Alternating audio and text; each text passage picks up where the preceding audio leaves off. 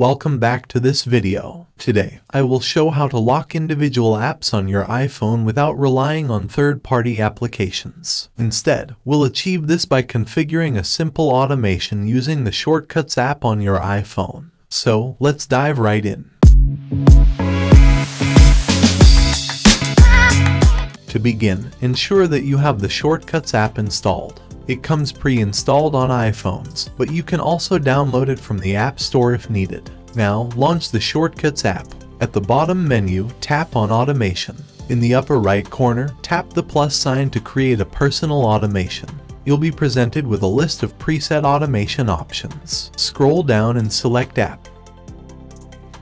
Make sure to only tick the Is Open box, not both. Next, tap on Choose in front of App. A list of all your apps will appear. Scroll through and select the apps you wish to lock, such as private apps like Instagram, Photos, and WhatsApp.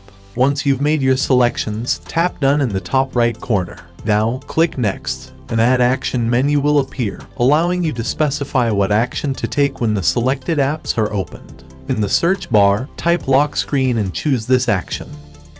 Now, click Next. Crucially, make sure to turn off the toggle switch in front of it before proceeding. This step is vital. That's it. Your setup is complete. Return to your home screen and attempt to open the apps you've chosen to lock. As soon as you try to open these apps, the screen will immediately lock. To access them again, you'll need to use Face ID or enter your password. Feel free to test this by attempting to open the locked apps multiple times. You'll notice they lock instantly. And there you have it. Now you can effectively secure apps like WhatsApp or any other personal apps from prying eyes. Remember, your privacy matters. Thank you for watching. If you found this information useful, please consider subscribing and giving us a thumbs up.